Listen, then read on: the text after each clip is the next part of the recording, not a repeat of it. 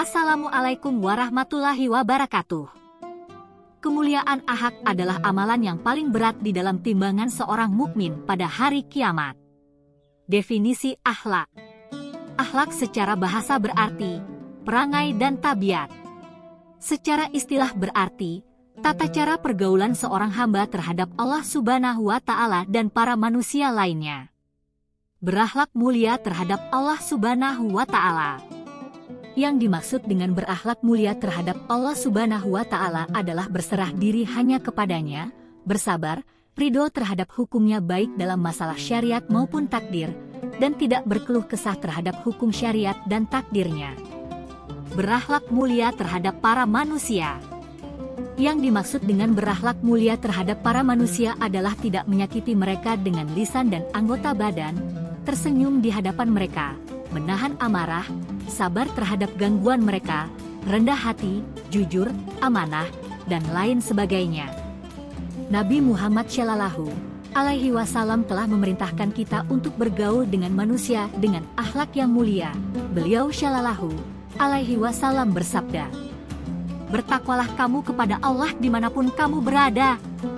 Iringilah kejelekan dengan kebaikan, niscaya dia akan menghapuskannya. Pergaulilah manusia dengan akhlak yang mulia. 1. Kemuliaan ahak adalah amalan yang paling berat di dalam mizan, timbangan seorang mukmin pada hari kiamat. Rasulullah Shallallahu alaihi wasallam yang tidak pernah berbicara dari hawa nafsunya, yang telah diberikan perkataan-perkataan yang sempurna telah menjelaskan kepada kita bahwa amalan yang paling berat di dalam timbangan seorang mukmin pada hari kiamat adalah akhlak yang mulia. Beliau Shallallahu alaihi wasallam bersabda, tidak ada sesuatu apa pun yang paling berat di dalam timbangan seorang mukmin pada hari kiamat nanti daripada akhlak yang mulia. Sesungguhnya Allah sungguh membenci orang yang berkata kotor lagi jahat. 2. Allah subhanahu wa ta'ala juga telah memuji Rasulnya Muhammad Shallallahu alaihi wasallam, Allah berfirman, Dan sesungguhnya kamu benar-benar berbudi pekerti yang agung. 3. Anas bin Malik radhiyallahu anhu berkata, Rasulullah shallallahu alaihi wasallam adalah orang yang paling mulia akhlaknya. 4. Jika kita ingin mengetahui bagaimana akhlak Nabi shallallahu alaihi wasallam, maka Aisyah radhiyallahu anha telah menjawab tentang pertanyaan itu Beliau berkata, akhlak beliau shallallahu alaihi wasallam adalah Al-Quran.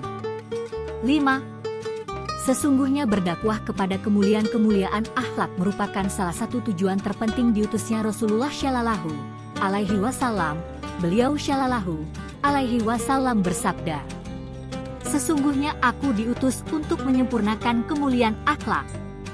6. Pertama kali yang kita harus ketahui, bahwa setiap amalan yang dilakukan oleh seorang hamba untuk mendekatkan dirinya kepada Allah Subhanahu wa taala harus diiringi dengan memohon pertolongan kepada Allah Subhanahu wa taala untuk diberikan petunjuk di dalam melaksanakan amalan tersebut.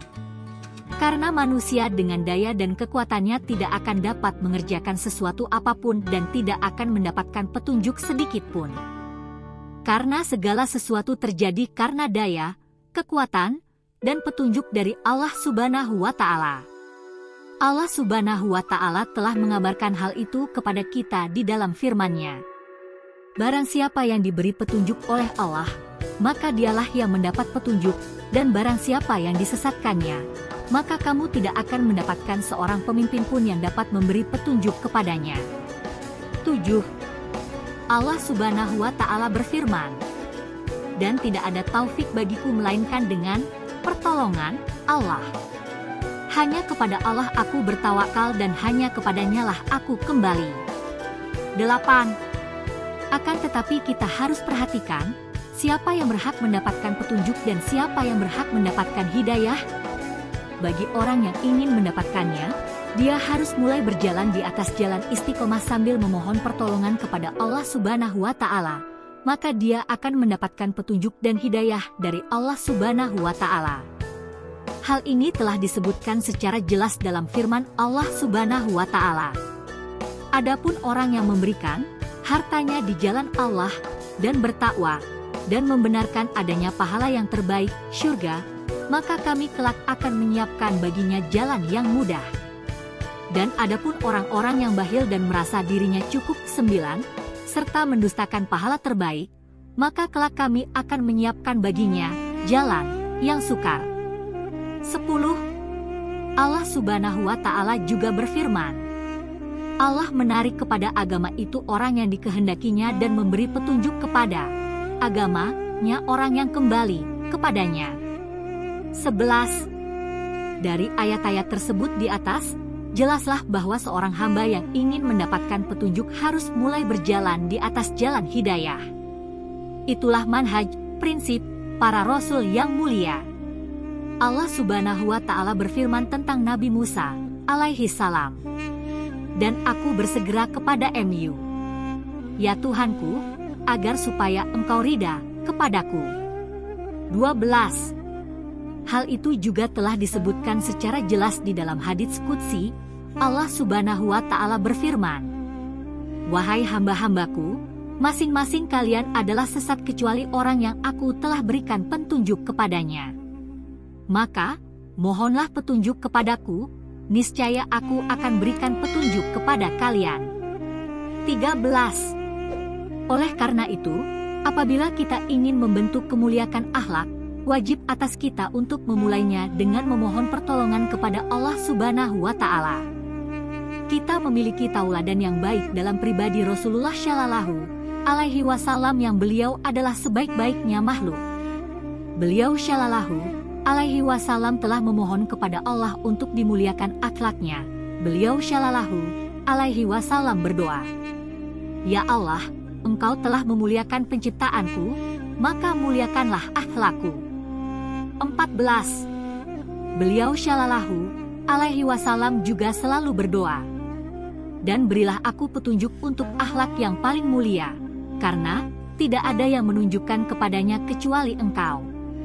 Hindarkanlah aku dari akhlak yang buruk, karena tidak ada yang bisa menghindarkan aku darinya kecuali engkau. Aku penuhi panggilanmu. Seluruh kebaikan hanya ada pada kedua tanganmu keburukan tidak dinisbatkan kepadamu. Aku memohon kepadamu. Aku kembali kepadamu. Engkau maha berkah lagi maha tinggi. 15. Jadi, wajib atas kita untuk memohon kepada Allah Subhanahu wa taala, berdoa dan merendahkan diri kepadanya agar